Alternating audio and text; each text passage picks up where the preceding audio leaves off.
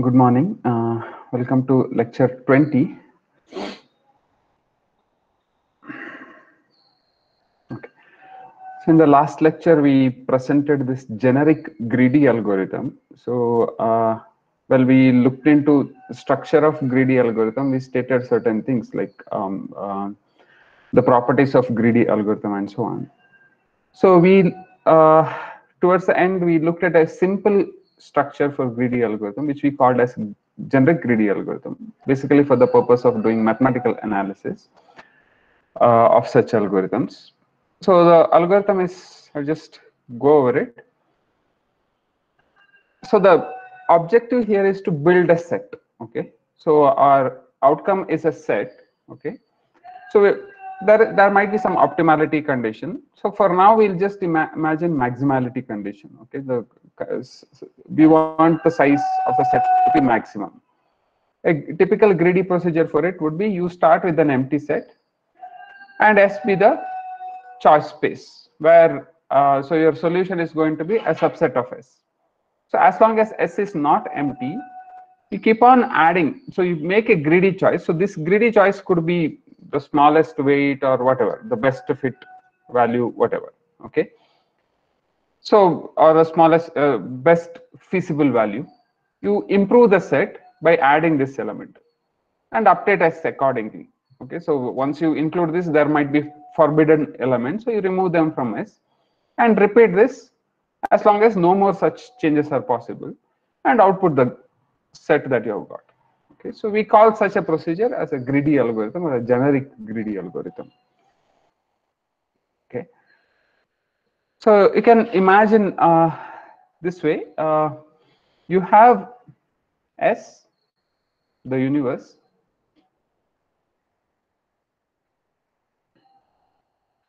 This is my S. Okay, so you have subsets of S.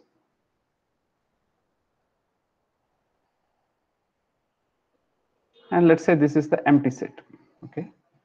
So you're adding one element at, at a time okay. so you can imagine this is your uh, Hasse diagram of subsets.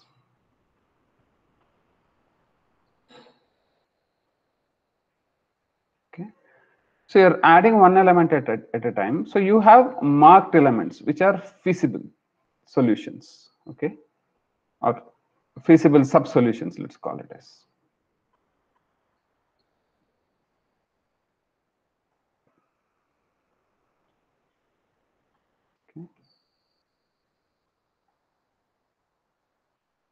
So you are improving one element at a time so that you are not out of the feasibility zone and you stop at one point.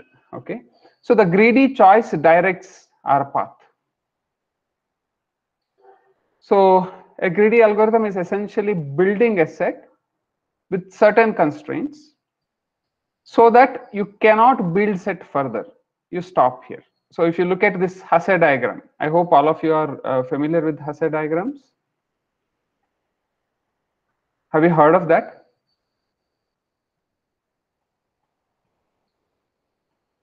Yes, sir. Yes, sir. Yes. So Hasse diagram is for a poset, partially ordered set. So for any set, any finite set S, you can consider the set of all subsets of it, the inclusion, set inclusion as a partial order, right? Now, the partial order here I'm considering is the subset relation. So I'm just writing down the subsets, okay? So I'm drawing an arrow. So the at the top level is the whole set, at the bottom level is the empty set. Now you put subset relation. So hence, so elements of cardinality 1 less than S will be at the next level, 2 less than S will be the next level, and so on. Empty set is at the bottommost level. So you can just imagine this greedy algorithm is navigating through this diagram. Okay. So navigating through this diagram, so adding one element at a time, it traces a path. Okay. So only thing is it there are certain conditions. Okay. So this greedy choice, so it should be feasible. Okay. So there should be some feasible condition. So if you mark all feasible sub-solutions, say as red, then what we are saying is you're taking a path along the Hasse diagram, in the Hasse diagram, taking only red vertices, for example. Okay. So wherever you stop, this we call as local maxima. Okay. So now the greedy algorithm to be correct, what we need is all these local maxima should also be maximum. So when I say local maxima, it could be a maximal. Say for example, in the scheduling case, right? You might come up with other maximal schedules which are smaller in cardinality than the best possible one. But you cannot add any more tasks to it without really update, uh, without re removing some of the tasks. Okay. So those we call as local maxima.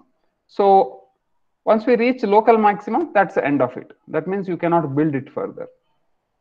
Intuitively, for correctness of the greedy algorithm, all we need is so depending on the choices that you make or irrespective of the choices that you make, you should be hitting on global maxima, not local maxima. Okay. Yeah, so this is an intuitive picture. If you uh, didn't get some of the terminology, local maxima or Hasse diagram, don't worry about it. Okay, so I'll come to it again. So now we are going to look at the mathematical definition of, see, all we are going to say is so these red dots, right? These are feasible solutions. In the case of schedule scheduling problem, feasible solutions are all conflict-free schedules, which may not be maximum, which may not be maximal. You just take one task, it's conflict-free. If you take two tasks whose time intervals are disjoint, that is two classes whose intervals are disjoint, then it's a feasible schedule. Okay. So if you put these red dots are as sub uh, subsets of tasks which are conflict-free so what we want is want to impose a structure, a restriction on, or look at the structure of this and say when is our greedy algorithm going to perform correctly, and when is it unlikely to perform correctly. Okay, so yeah. So the structure has a name. It's called matroid. Okay, so this was invented kind of independently, independent of greedy algorithm. This was invented, and I think this was due to Whitney uh,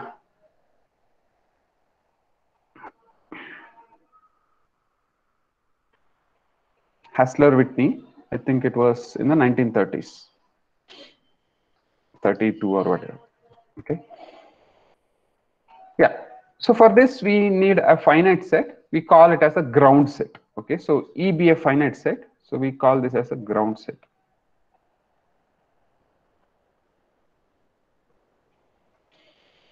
So a matroid over E is a pair E and calligraphic I, which is a collection of subsets. Okay, so we call this as independent sets.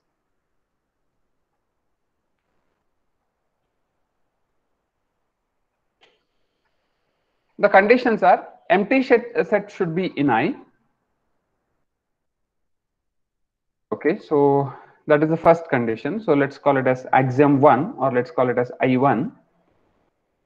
And if A is a subset, which is independent, so this is a collection of independent sets, and B is a subset of A, then it is necessary that B is also independent. That's how I'll read it. Okay, so B is also independent. That is B is also in E, I.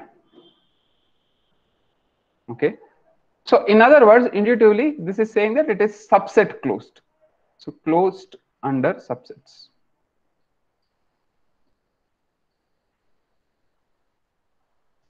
Okay.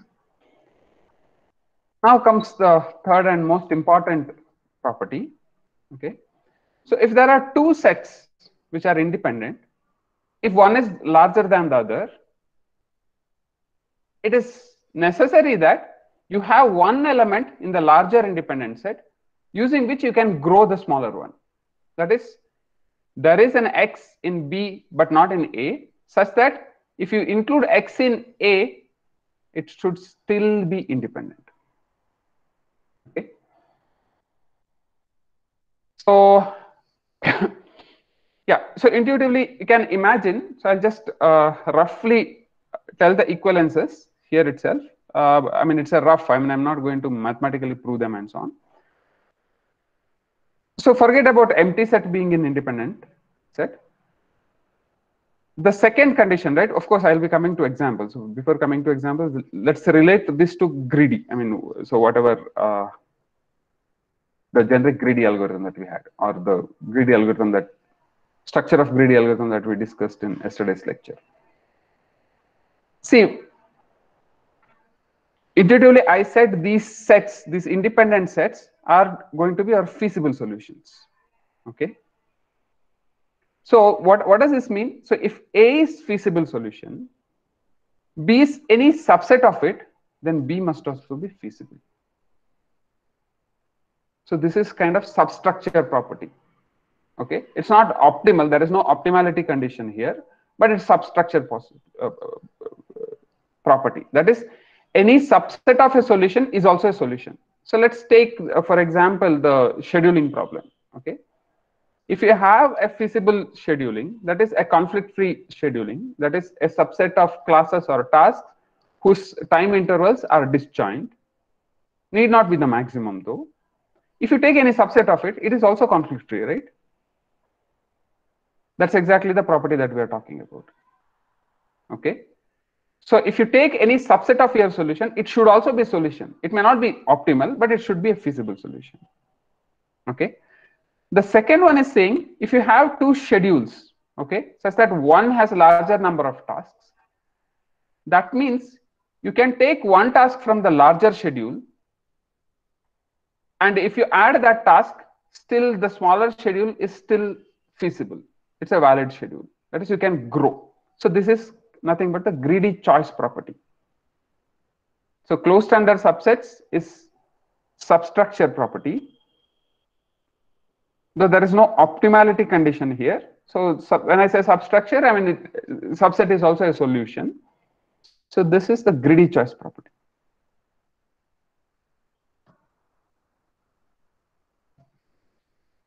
Hello, sir. Sir, in the third point, when we consider it to the example of scheduling, if yeah. suppose A and B are uh, like if they conflict. No, in the case in the case of uh, yeah, yeah, so that's a good point. But in the case of scheduling, this property is not true right away. Okay. Yeah. Okay. Yeah. So for scheduling, we will have to make some assumptions to have this property. We'll we'll come to that maybe towards the end of today's lecture or in the next lecture.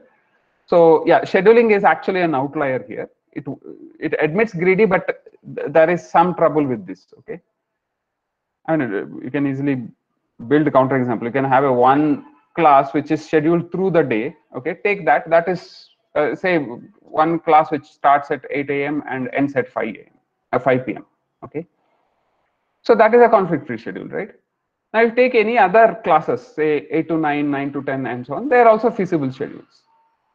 But you cannot add any of them into this because is, this is going to conflict with everybody, right? So that way, it does not satisfy this greedy choice property. We'll, we'll rectify it. Okay, we'll see how to reason about that. Okay, so that is one outlier. Okay, so I'll, so what I'm going to do is the rest of remainder of the lecture today I'm going to uh, spend a lot of time on matroids. So we'll see properties of matroids and we'll see a generic greedy algorithm fitting well into structure of matroids and analyze such algorithm. And we'll also give an optimality criterion that is optimal greedy choice. Okay. So greedy choice with optimality condition.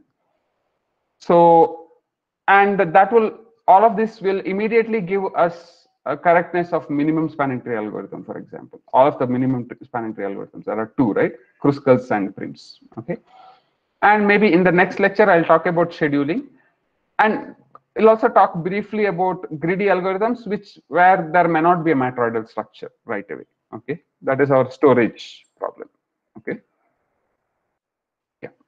So we'll start with an example. So let's be concrete now. So I hope uh, this so these are these are called matroid axioms. Okay. So at least next 15 to 20 minutes, I'm going to spend on examples. So the, at least two uh, examples we are going to discuss. Okay. So so let's examine. Okay. So let us take uh, yeah. So this. Sorry. Okay. So this is my usual practice. So I'll take it as E. Okay. So let the ground set be one, two, three, four. Okay.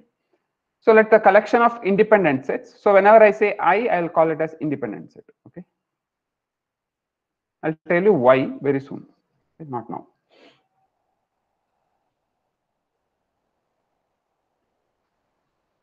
So let's take this collection of sets. Okay. Empty set 1, 2, 3, 4, 1, 2, 2, 3, 3, 4, 2, 4, 1, 4, 1, 3. That is all subsets of cardinality 2 and all subsets of cardinality 1 and the empty set. Okay. Now let's examine the axioms. So let's verify one by one. So I1 satisfied, right? Empty set is present. So I1 is satisfied. Now how about the second property, I2? So any subset of single element set is an empty set, which are anyway in the are independent. Uh, I mean, which is I mean, it's an empty set, right? So now consider any subset of cardinality 2. So 1, 2. We have all single element sets present here, right? As independent. So hence, if A is an independent set and B is a subset of it, then B is also necessarily in it. B is also necessarily independent right? By just examination. So if you take two threes so any subset of cardinality any subset of these sets are of cardinality 1 and we have all subsets of cardinality 1 present here. So property 2 is satisfied. That is i2 is satisfied. Now i3 so i3 is also not very difficult to see. So because what I did is I took all subsets of cardinality 2 okay? So in other words so let's take A and B. So okay so tell me examples of A and B. So A should be of smaller cardinalities. That means A should be singleton set. Say A is 2 and B is so B should not contain 2 if B contains 2 trivially B is A union X, right? So that is not, so it should not contain 2. So let's take 3, 4. Okay. So now what, what does this statement say? If cardinality of A is less than cardinality of B, which it is true, cardinality of A is 1, cardinality of B is 2, then there is an X which is in B but not in A, such that A union X is in I. So is there an X here?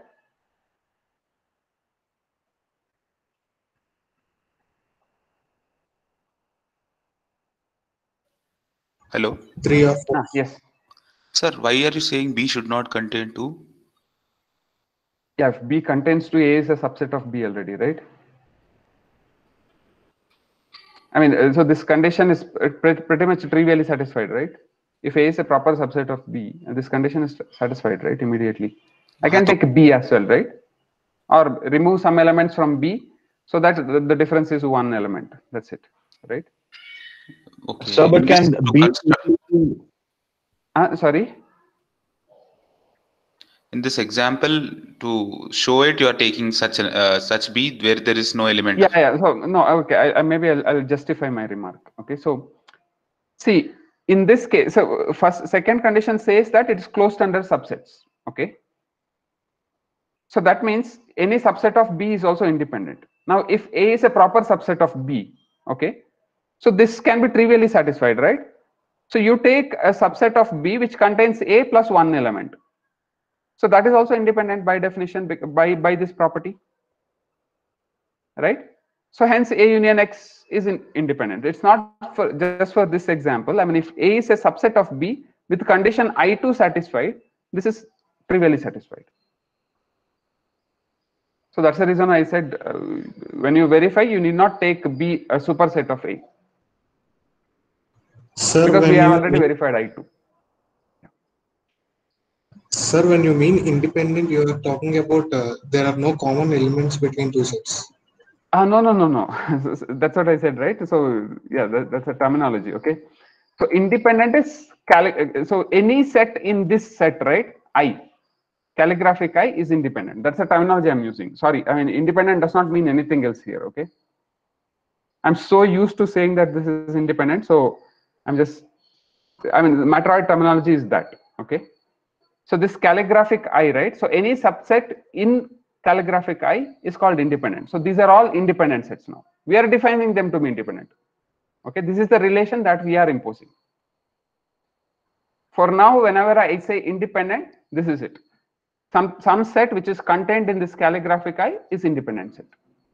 Okay. So why the word independent? I'll justify later. Okay, so this is the matroid literature terminology. Somehow I'm like I said, I've been uh, working on matroids for last 12 years or so. So I cannot avoid that terminology. It will come to me very naturally. I hope there is no confusion. Sir, do you mean then this is a total ordering? Uh, No, no, no. There is no ordering right now. Uh, Don't worry about ordering and so on. See, there are only two things. Okay. So one is my ground set, and the other one is set of all independent sets. Okay. So we uh, right now for this example, we are just verifying they satisfy all these three conditions or not. Okay. So whenever I say independent set, a sub subset present in calligraphic I. So here, here it happens that all subsets of cardinality one or two are present. It need not be the case. We'll see more examples soon. Okay. Yeah.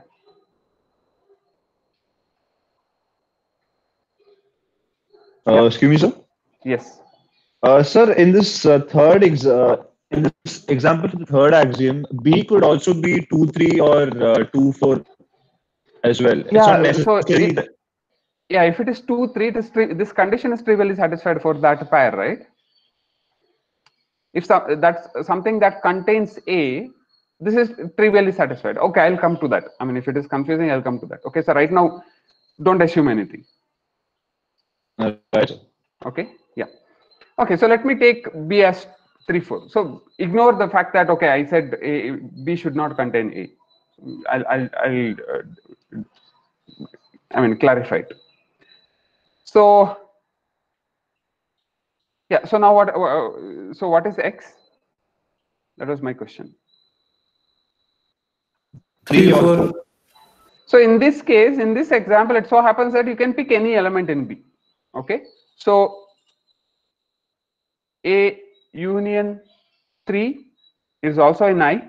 In fact, A union 4 is also in I. Okay. Calligraphic I. Sir, 3, 4 is uh, one subset or we are taking 3 and 4 different subsets? I mean, No, no, 3 is an element, right? 3 is an element. 3, 4 is a subset. See, these are subsets.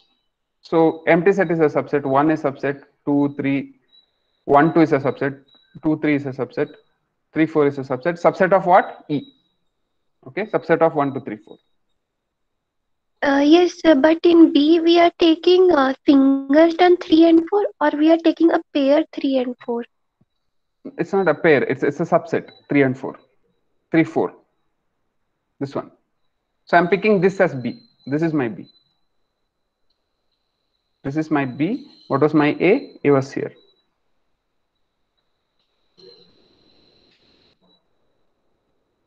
Okay. So then X would be 3, 4. No, no, no. So see, see this notation, no? So what does this notation says? There is an X in B, but not in A. So what is B set minus A? It's 3, 4. So X should be either 3 or 4. But it, says it need not be everything. So it, it, it, it just says there is one element. If it satisfies for 3, we are happy. It all it so happens that in this example, it also satisfies for, for 4. Okay. That's a peculiarity of this example. So, since 2, 3 is in I, since 2, 4 is in I. See, it might be a bit confusing uh, to many of you. So I'm saying 2, 3 is in I. Okay, so this is a membership relation, right? So I'm saying a set is a member of another set. Okay, So I'm not talking about 2 is in I or 3 is in I. I'm saying this subset is a member of I. This subset is a member of I. Okay, that is a notation, which is fine, right? You must have uh, seen uh, relations, I mean, uh, subsets of power sets. So this is basically a subset of power set. I is a subset of power set of ground element, a ground set. Okay. So here maybe I'll just write. So I, mm, sorry, I is a subset of 2 power E. That is power set of E. I hope everybody is familiar with the power set notation. That is set of all subsets. Okay. That's exactly 2 power cardinality of E many subsets. So I is a collection of subsets. I will will just use this terminology. I is a collection of subsets. Okay. We say that E along with I forms a matroid. So we call this collection of subsets as independent sets of the matroid if there are three axioms which are satisfied. So we call these axioms are independent set axioms, independent set axiom 1, independent set axiom 2, independent set axiom 3. Okay. So 2 we have, ze- 1 and 2 we have verified fairly. So we were in the process of verifying 3 for this set. So for that I took example of A and B as sets. And then we saw that the, this condition is satisfied. What does it say? If B happens to be of larger cardinality, there should be some element in B which you can add to A such that the resulting set is still independent. So this notation is saying independent. Okay, so that is satisfied for this pair. Now, how about other pair, pairs? So 2 with the 2, 4. So A as 2, B as 2, 4. So the statement is trivially true, right? I can take x as 4. If I add x to A, I get 2, 4, which is itself is my choice of B, which is independent. Okay. So similarly, 3 and 1, 4. Does it satisfy? If I take A as 3 and B as 1, 4, Yes, it is satisfied, it satisfies, right? So Yeah. this is 1. So the second example is A is 3, B is 1, 4. So with A as 3, you take any other subset B for B that say 2, 4 or 1, 3 or 3, 4 or 2, 3 or 1, 2. This will satisfy. Okay. So similarly, if you take A as 4 and take B of B as any of these, it will again satisfy. Okay. And similarly, if you take A as 1 and B as any of this, this will satisfy. That are, these are the only possibility, right? Remember that the condition we had was cardinality of A should be less than cardinality of B. So that means B has to be of size 2 and A has to be of size 1. Empty set, no big deal, right? Empty set is a subset of anything. So no big deal there. So you can verify that. So I'm just leaving it to you. Verifying that for any pair AB such that cardinality of A is smaller than cardinality of B, this condition is satisfied. Okay. So hence, this is a matroid. So hence M equal to EI is a matroid. So this is one example of a matroid. Okay. Excuse me, sir. Yes. Sir, suppose if uh, two co- two four is in not in the set I, then there will be at least one that uh, A union three is in subset I, is a, is in I. So it will also hold true for I three, right? Because there is at least one. X Yeah. So if you remove two four, I think it should still hold. Yes. Yeah. so it works for at least one. Yeah. Probably you can remove two of them. I think if you uh, do it a bit carefully. Uh, yeah. But yes. Okay, thank you. Yeah. Sir, so if even for one uh, condition is satisfied, like suppose we took here three four, right? AS2 and BS3 4. If only for Uh-huh. this also it is satisfied, and for others it is not satisfied, you can still say that axiom three is No, no, no, no, no. So this axiom, there is an implicit. So if A, A, B in I, right? That means for all A, B in I, okay. with th- this condition, there is an implicit universal quantifier, right? So whenever we write in English, right, if this is written, what does it mean? This should be satisfied by all AB.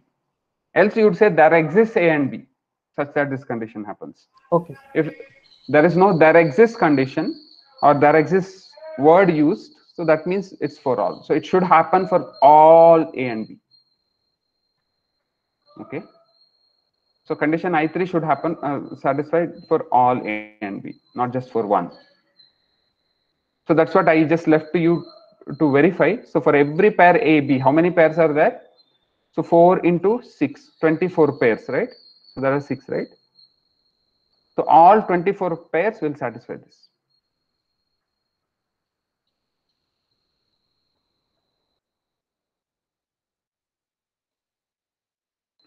Okay. So, so let's uh, have a non-example with the same ground set. Okay. E. So I've taken all subsets of cardinality 1. I've taken uh, 1, 2, 3, 4 subsets of cardinality 2 and I've included one subset of cardinality 3. See, there is no rule. Why should it be cardinality 2? I could have also added higher cardinality elements. Okay.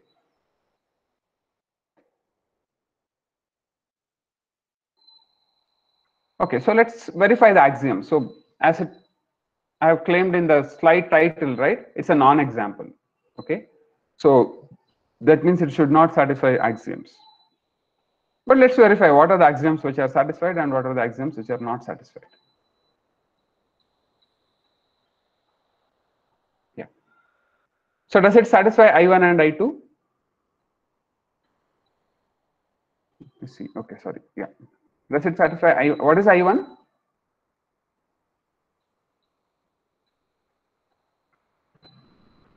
Empty set should be in the independent set. Yeah, so it satisfies, right? Empty set is present. Empty set is here, so it satisfies I1. So what is I2? If A element of I and B subset of A, then B element of I.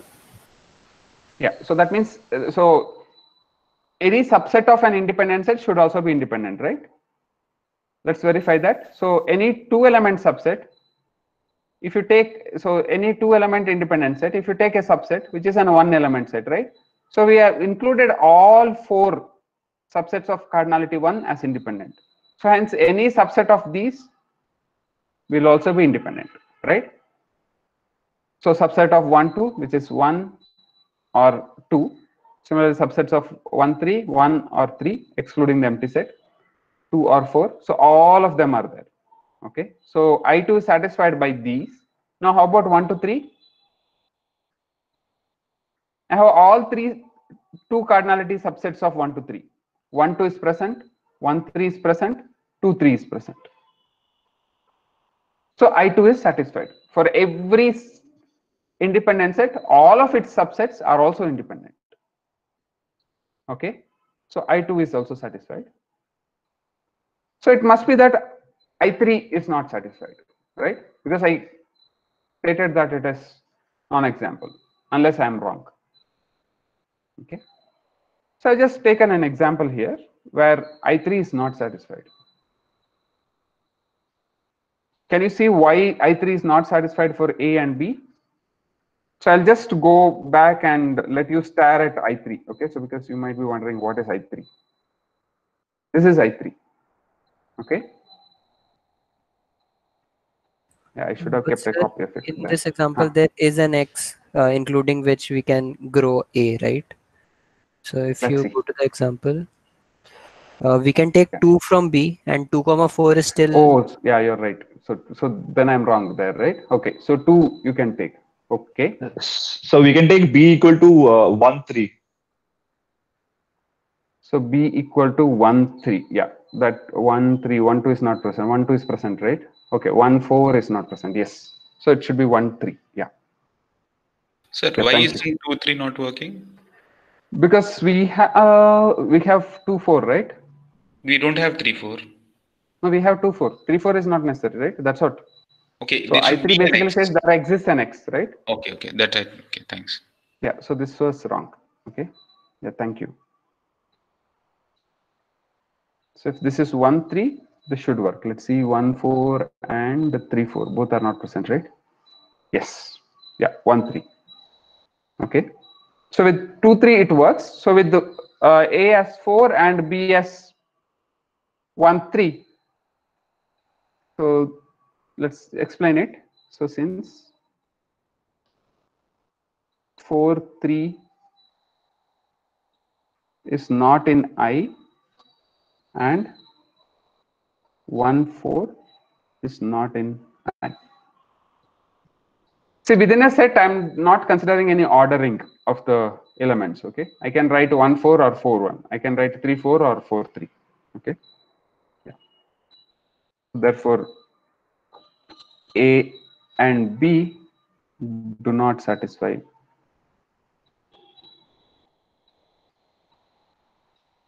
I3. Okay. So therefore, EI above is not a matroid.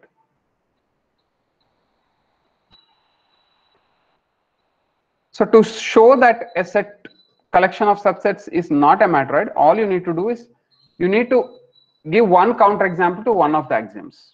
Either empty set is not present or you have a set whose at least one of the subsets is not present in the independent sets or you have a pair A and B such that uh, the independent axiom I3 or axiom I3 is not satisfied. Okay. So yeah, so far, so what you're feeling about matroids?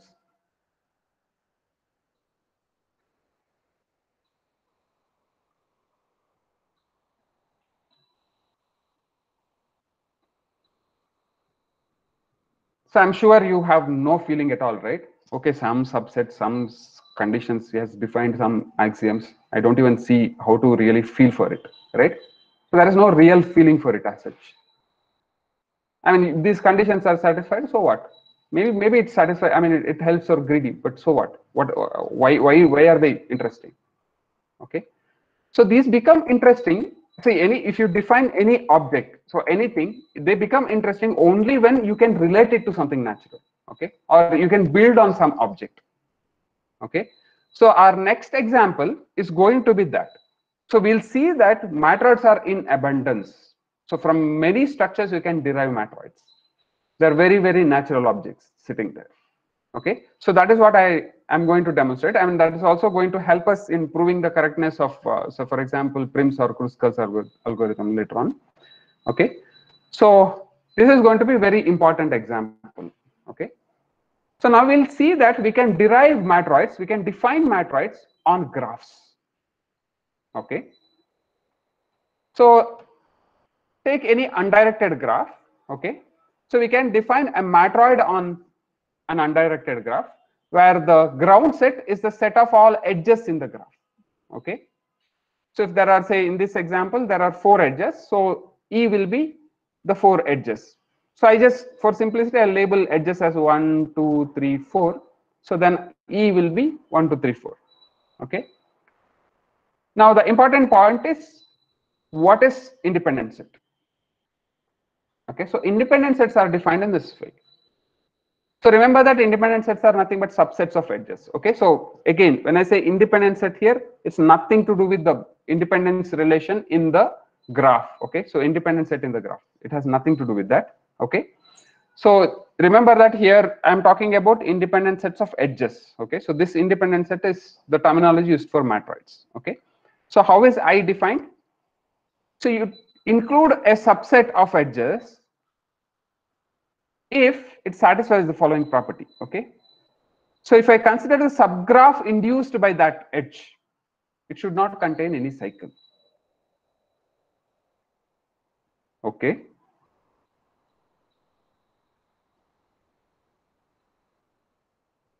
That is if i take any subset maybe let me mark some subsets okay? So say subset of edges is 1 2 and 4 so how does the graph look like so this is the graph. Sorry. Does it contain a cycle? So let me let me take example here. So example, let's take A as 1, 2, 4. See, if you take any collection of edge, I can talk about induced graph, right? Say collection of edges or a subset of edges of a graph naturally defines a subgraph, right? So what is G of A now? So G of A is this subgraph, which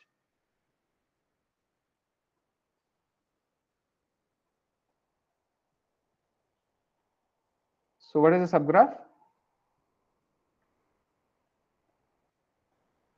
One, two, four. This is what G of A would look like. Does it contain a cycle? No. no. It does not contain a cycle, right? So therefore, sorry. Therefore, A is in I. Okay. So take any other example. So if you take 1, 2, 3, will it be? So A is say 1, 2, 3. So what is the induced subgraph?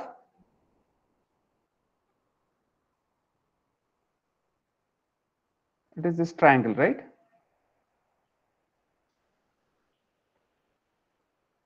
Has a cycle. Therefore, A is not in I. Okay. Is the definition clear to everyone?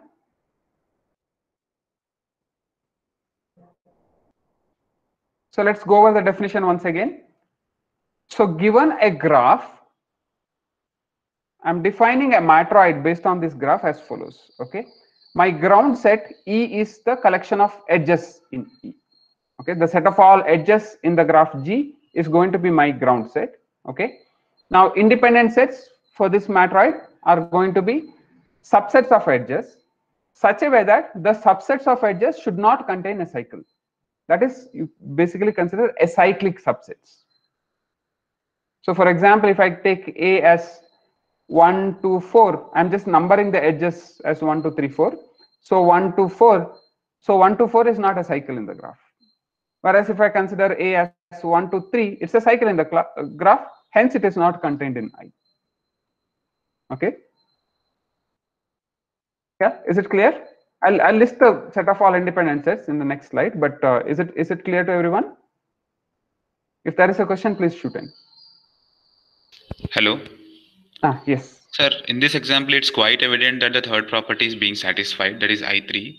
Uh, how can we argue that it is always No, no, no. I, I haven't proven that it is a matroid. I'm going to do. Yeah, we're going to spend some time on it. Yes. Okay. I'm just defining it. I, yeah, uh, right now I said it is a matroid, but we haven't proven that it is a matroid. We'll come to that. Yeah. Okay, so now I'll list. So this is how it looks like. So I will look like. So all so empty set is included because if you have no edge, it does not contain any cycle, right? And all single edges are present. One, two, three, four, all of them. So if you take any pair of edges, they are also present because they cannot form a cycle in this graph because we, our graph is simple and does not have loops. I mean, uh, does not have parallel edges. So all two cardinality sets. Now three cardinality sets. What are which of them are uh, independent according to our definition? So one to four is present. One three four is present. Two three four is present. But one two three is not present because it is forming a cycle. Okay. Yeah. So now uh, maybe quickly we'll verify if uh, for this example, if all three E- axioms are satisfied. Yes. Yeah. Here, I didn't E should be up to 4, right? Ah, sorry. The E set. It should Yeah, not sorry, have 5 sorry, sorry, sorry. Yeah, yeah, yeah. Thank you. Yes, I'm very sorry. No, I had a larger example and then I pruned it because I listing of the independent set was really too much for me. So I just yeah, sorry. Yeah, thank you.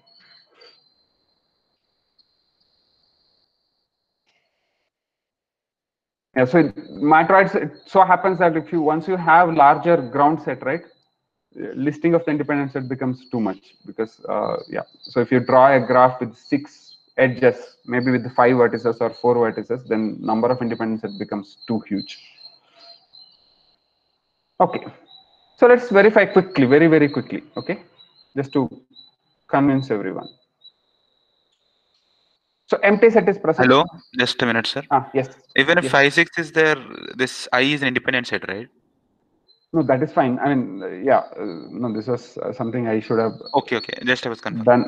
No, because my intention was to have a bigger example, but later on I realized that writing the independent set is not feasible. It, I mean, it's not readable in a few minutes or whatever. So that is why I just dropped it. This this definition is valid. I mean, if you you can have a larger ground set and independent set may not ha have elements from some, some elements from the ground set. That is fine. But yeah, let's be a bit precise. Yeah. So is it closed under subsets? It is, right? So you take any two element subset, any subset of it is one element subset, it is present. So it's this portion is satisfied. So now how about one, two, four, one to four? So because any two element subset of edges is also independent, right? So hence this satisfies, this satisfies, this satisfies. So or in other words, I2 is satisfied. By examination, I just leave it to you to examine. So now how about I3?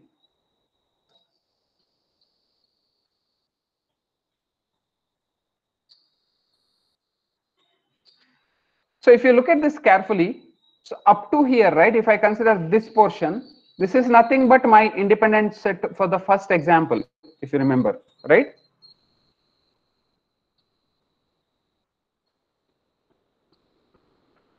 This is exactly what we had as first example, though there was no graph sitting there. We labeled the ground set elements as one, two, three, four, and this was our collection of independent sets. Remember? So let's go back two slides. Yeah, this is pretty much it, right?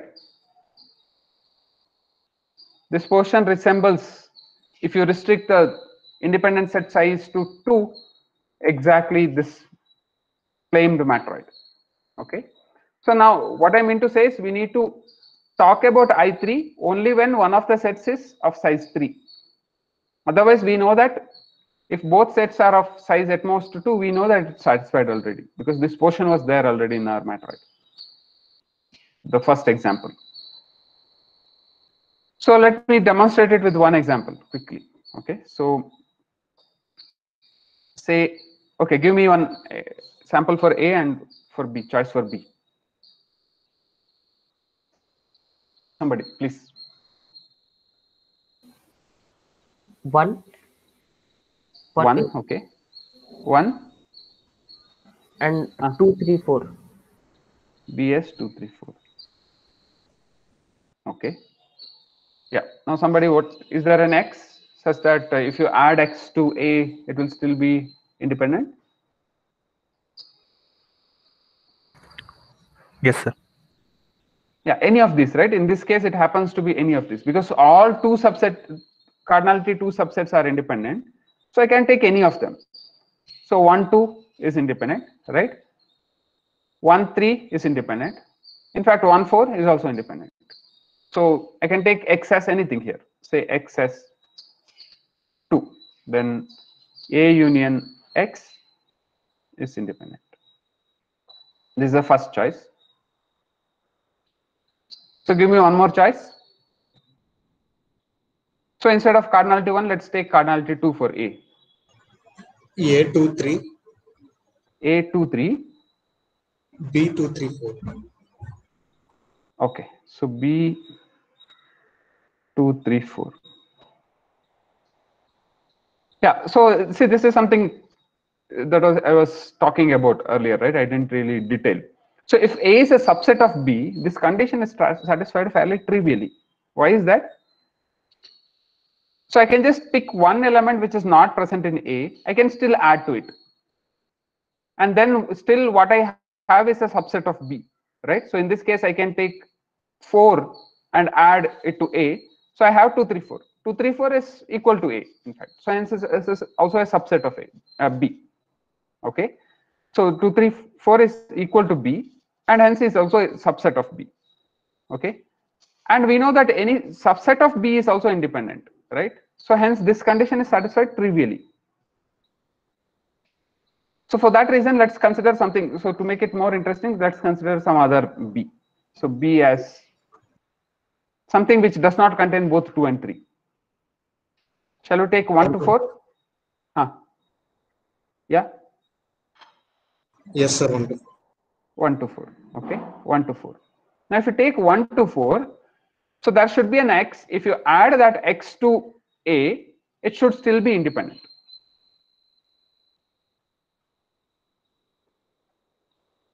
Four.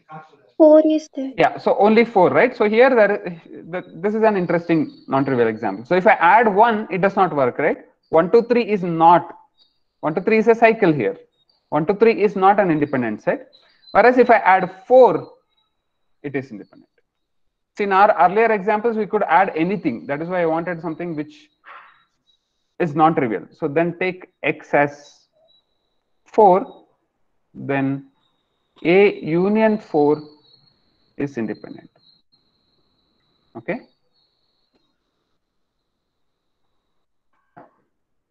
So now I'll leave it to you to verify. So if you take any such pair A and B, this will be satisfied. Okay. So I'm not going through all possible pairs. Yeah. So offline, please verify and convince yourself. Okay. Yeah. So now we are going to make a statement.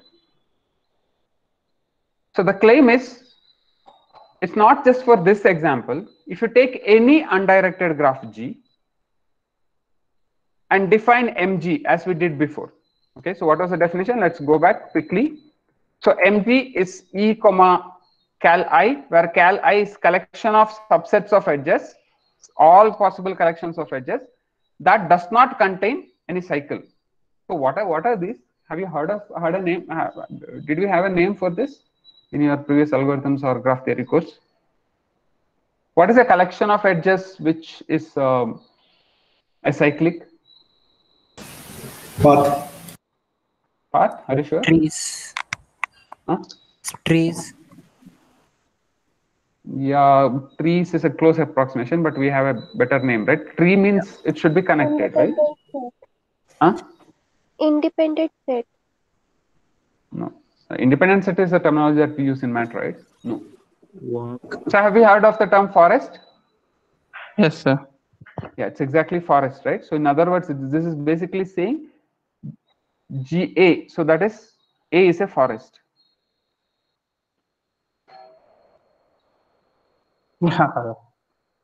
Got it? So I cheated you all right. I didn't really use this terminology. So if I had used forest, it's probably easier to understand. Sorry, I mean I should have. And I forgot about it. Okay, so then it's very easy. Okay, so I is a collection of all forests, that is subsets of edges which are forests, that is acyclic. Okay, they should not contain a cycle. Okay, so let's go back to our statement.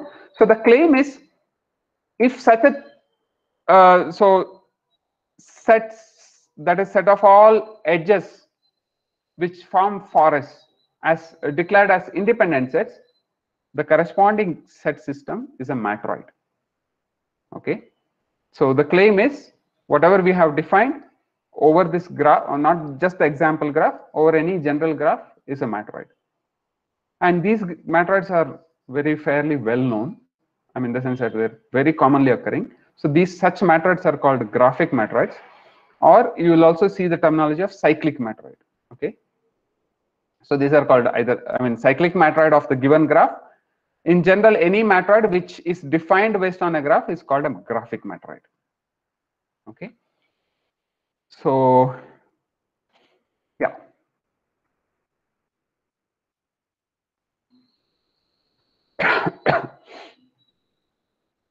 yeah, I am in two minds. Should I start and always overshoot like usual, or should I stop? Maybe I'll- stop here today. Okay.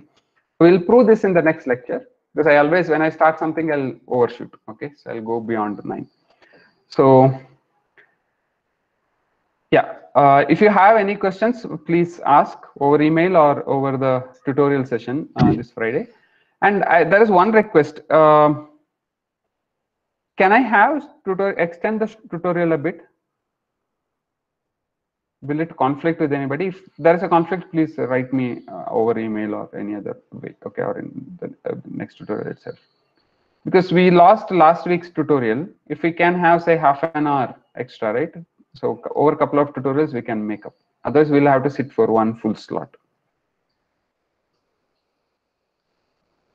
Or another option is we'll break for lunch. We'll come back at two three. So two three people didn't say any conflict. So I believe people are free in uh, on Friday between two and three. So we can have the second tutorial session. Okay, so the yeah class reps, I request you to just uh, collect information. So we'll decide on Friday itself. For me, it doesn't matter. Okay, I'm available both the times. So yeah, if everybody is fine, we'll extend it to say 30 minutes or so. Otherwise, we'll have uh, sitting in the afternoon. Okay, thank you. So Raghav,